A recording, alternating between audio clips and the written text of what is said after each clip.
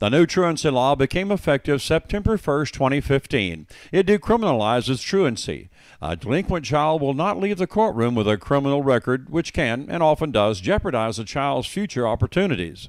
The failure to attend school law is now a civil offense called truant conduct under the Family Code.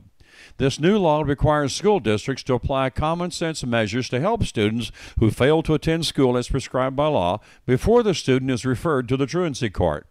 The law compassionately takes into account homelessness, chronic illness, and unspecified special education needs.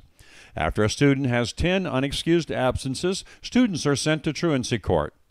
Truancy matters are naturally more complex now than before the new law became effective 2015. Instead of fining children, courts can order students to remedial counseling or tutoring.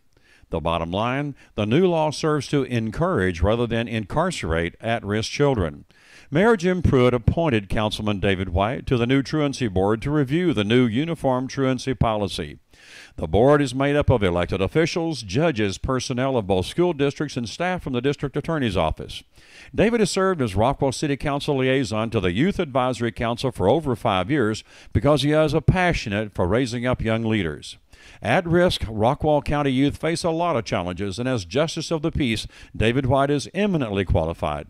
He is the right person at the right time. David is a homegrown leader who graduated class of 1993 from Rockwall High School.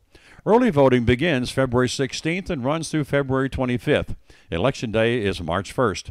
David White requests your vote for Rockwall County Justice of the Peace, Precinct 3.